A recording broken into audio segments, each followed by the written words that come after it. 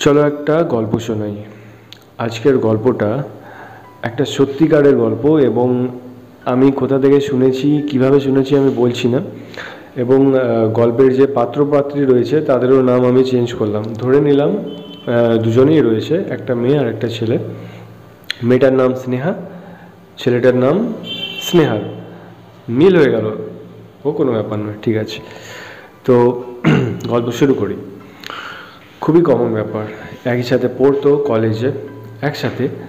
তো স্নেহাল যে রয়েছে ছেলেটা ছেলেটা মেয়েটাকে খুব পছন্দ করতো মনে মনে।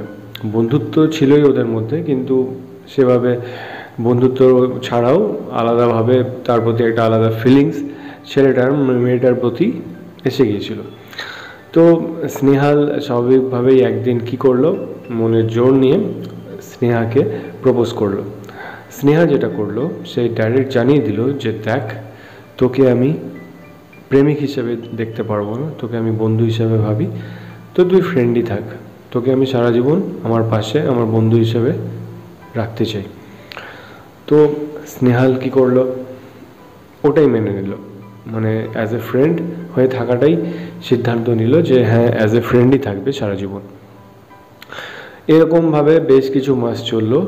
তারপর হঠাৎ করে স্নেহাল ঠিক করল, স্নেহাকে একদিন বলল যে, দেখ, তোর সাথে আমি বন্ধুত্ব রাখতে পারব না, কারণ আমার দ্বারা সম্ভব নয়।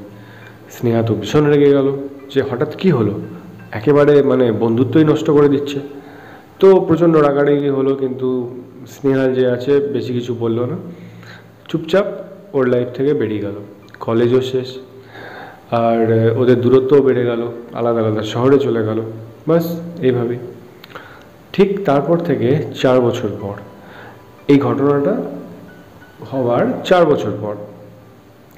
স্নেহা তারই এক বান্ধবীর বিয়েতে মানে আমন্ত্রিত ছিল, সেখানে গিয়েছিল। তো সেখানে তার বান্ধবী তার হাজব্যান্ডের নামে বলছে যে, দেখ, আমার হাজব্যান্ড কত ইনোসেন্ট মানে সব কিছু করে, একটু বোকা আছে, কিন্তু খুব ইনোসেন্ট আমাকে খুব ভালোবাসে। হঠাৎ করে, কেন জানি না, স্নেহার, স্নেহালের কথা মনে পড়ল যে, সেও অনেকটা এরকমই ছিল। মানছে যে সে বন্ধু ছিল, কিন্তু তাও কোনো না কোনোভাবে কোনো একটা জায়গা তো তার লাইফে ছিলই, আর বেশ ভালো বন্ধুত্ব ছিল তাদের মধ্যে। তো সেই বিয়েবাড়ির দিনের পর থেকে স্নেহার মনে, স্নেহালের প্রতি একটা অগাধ ইচ্ছে মানে জানার ইচ্ছে জেগে গেল যে সে এখন কোথায় আছে, কি করছে। আর প্রচণ্ড রকমভাবে সে মনে মনে একটা দুঃখ পেল, ঠিক আছে? যে একটা বন্ধুত্ব ছিল, তাও আবার চার বছর পর। তো এই কিছু বছরের মধ্যে তার লাইফেও কেউ আসেনি। সে এটাও জানে না, সে আদৌ মানে একই রকম আছে না বিয়ে হয়ে গেছে না তো তার জীবনে কেউ এসছে। তো সে কী করল? চটপট ফেসবুকে দেখল আর ফেসবুকে সার্চ করা শুরু করল। এমনিতে স্নেহাল যে ছেলেটা আছে, সে অতটা সোশ্যাল অ্যাডিকশন তার ছিল না প্রথম থেকেই। কিন্তু তাও সে ভাবলো যে মেবি হয়তো মানুষ চেঞ্জ হয়, তো হয়তো আছে। তো পেয়েও গেল প্রোফাইল অনেক খোঁজার পরে অনেক অনেক লোকের একই নামের প্রোফাইল দেখতে দেখতে ওর প্রোফাইলও পেয়ে গেল। তো প্রোফাইল পেয়ে প্রথম কথা অ্যাড রিকোয়েস্ট পাঠালো, কিছুদিন পর অ্যাডও করে নিল। তারপরে ডাইরেক্ট সে নিজের চাকরি সূত্রে তার সাথে কথা বলা শুরু করল। মানে সে চাকরি চায় সেই সূত্রে। তো সে জানতে পারল সে অন্য একটা শহরে রয়েছে, সে শহরের নাম এখন বলছি না, পুরোটাই সিক্রেট থাক। তো সে তখন ওকে ডাকা হলো ইন্টারভিউয়ের জন্য। তো সে সেই শহরে গেল। বহু বছর পর ওরা একে অপরের সাথে দেখা হলো। স্নেহাল একটুও চমকালো না, একটুও অবাক হলো না। কারণ মাঝখানে যে কল হয়েছিল ট্রু কলারে স্নেহাল সেটা জানতে পেরে গিয়েছিল আর সেটা স্নেহাকে বলল যে, আমি জানতাম যে তুমি আসবে। কারণ ট্রু কলার ঠিক আছে? যুগ বদলেছে, সময় বদলেছে। তো স্নেহা বলল, আরে, ব্যাপারটা এরকম হলো।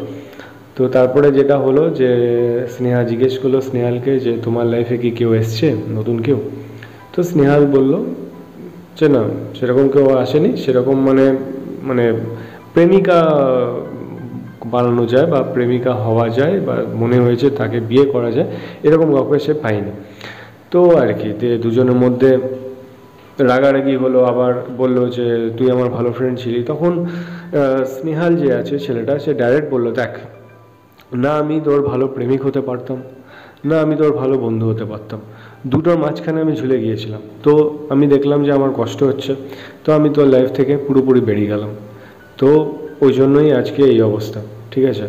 আমাদের মধ্যে ছাড়াছাড়ি হয়েছে, তো মিলও হয়ে গেল।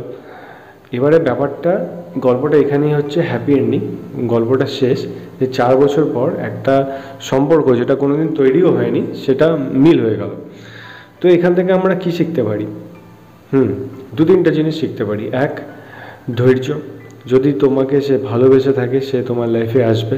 সেটা তো পরে আসছে, এটা মুভির মতন ফিল্মি ব্যাপার। এটা যদিও রিয়েল কিন্তু সবার সাথে ঘটে না। যদি সেই ছেলেটা বা মেয়েটা প্রকৃত হয় স্পেশালি অনেক সময় কি হয় যে মানে মাল্টিপল রিলেশনে যারা যায়, তাদের ক্ষেত্রে এগুলো হয় না। খুবই রেয়ার আর যাদের সময় তাও অনেকটা আছে, তাদের জন্য এটা হয়। সেকেন্ড হচ্ছে, নিজের কাজে ফোকাস ঠিক আছে? লাইফে কিছু হোক না হোক, নিজের কাজে ফোকাস দেওয়া উচিত আর স্টেডিনেস নিজেকে সেলফ রেসপেক্ট দেওয়া। যখন স্নেহা ওকে রিজেক্ট করল, আর বেশ কিছু মাস ধরে যখন বন্ধুত্ব থাকল, বন্ধু হয়ে দেখল যে একটা বন্ধু থেকে প্রেমিক হওয়া যায় কিন্তু প্রেমিক হয়ে সুপ্ত হোক, যাই হোক, সেখান থেকে আর ফিরে বন্ধুত্ব তো করা যায় না। কারণ এই রিলেশনটা এরকমই। তো সে পুরো অনেস্ট ছিল, সে জানে যে সে ভালো করে বন্ধুত্ব করতে পারবে না, তো যখন করতে পারবে না, তো বেরিয়ে গিয়েছিল। আর এই জিনিসটাই স্নেহার তার প্রতি ভালো লাগা এনে দিয়েছিল আলাদা করে। তাও আবার এতগুলো বছর পর। এবার হ্যাঁ মানছি, সবার সাথে ঘটে না। তো লাইফে এই ব্যাপারটা এটাই যে এখান থেকে আমরা এটাই শিক্ষা নিতে পারি। তোমরা যেটা চাও সেটা মন থেকে ক্লিয়ার হয়ে যাও যে আমি এটা চাই। যদি সে সেটা না দিতে পারে, তো একা থাকো। আর কোনো এক্সপেকটেশন রেখো না। এই গল্পটার মতন হ্যাপি এন্ডিং হয়তো সবার হয় না। নাইনটি পার্সেন্টেরই হ্যাপি এন্ডিং হয় না। কিন্তু যেটাই হোক না কেন, তাতে তুমি ভালো থাকবে এবং আমার মনে হয় কোনো না কোনোভাবে তুমি বেঁচেও যাবে একটা টক্সিক জায়গা থেকে। কারণ তোমার খারাপ লাগবে। সে যখন তোমার প্রপোজাল অ্যাকসেপ্ট করবে না, আর সে যদি অন্য কারও লাইফে চলে যায় তো তোমার যথেষ্ট খারাপ লাগবে। তো বি অনেস্ট অলওয়েজ নিজের মতন থাকো আর হ্যাপি থাকো বাস আজকের গল্প এটুকুনি আবার আসব অন্য কোনো গল্পের ঝুলি নিয়ে। মাঝে মাঝেই ফিরে আসব। বাই